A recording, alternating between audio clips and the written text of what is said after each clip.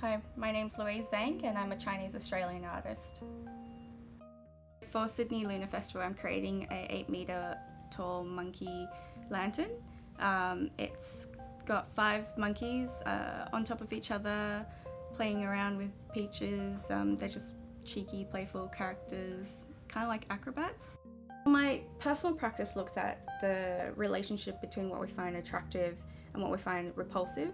And so um, I look at things that are perceived as cute or pretty or innocent, really approachable, and I like to contrast it with things that are monstrous or that kind of showcases the darker side of being human in relationship to those things.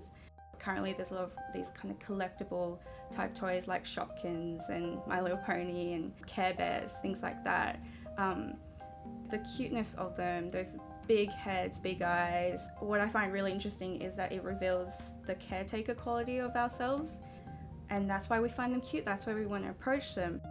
I also love things that have a bit of a sort of rebellious nature in them. I feel like monkeys have that, um, kind of like the naughty toddler, you know, but they're just so cute. You're like, you're such a brat, but you're so adorable.